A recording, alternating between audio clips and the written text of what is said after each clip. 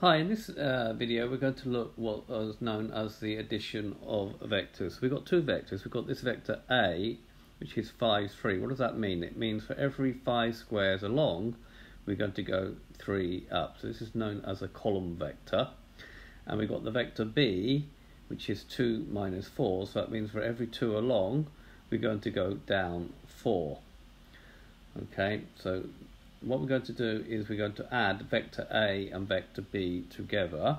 So let's just have a look at that. So that means if we start here, okay, we first do A, so we go 5 along, 3 up, and then we do B, which is 2 along and 4 down. So we end up here.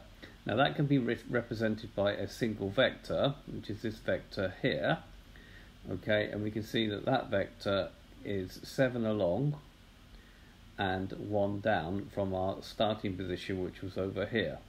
Now you can get to that by doing 5 plus 2 which gives me 7 and then 3 minus 4 which gives me minus 1. So to get the column vector all you need to do is add these two column vectors together. Now what happens if we do it in a different order, i.e. we do B first and then A. So let's have a look at that.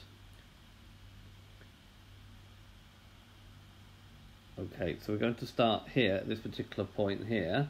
That means we're going to go two along and four down, and then five along and three up from there. We end up this point here. So we go back to the starting point, we can see we've gone seven along and one down. So it doesn't actually matter which way around, we add A plus B, A and vectors A and B, or we or we can do vector b plus a. And again, we can get the result by doing 2 plus 5, which is 7, minus 4 plus 3, which is minus 1. So the conclusion here is that vector a plus vector b is equal to vector b plus vector a. Now, in textbooks, these letters are written in bold print, but you will be expected to uh, underline them like that or put a, um, a squiggly line underneath each one to signify that it represents a vector. So this has been a, a, video to introduce you to the idea of addition of vectors. I hope you've understood.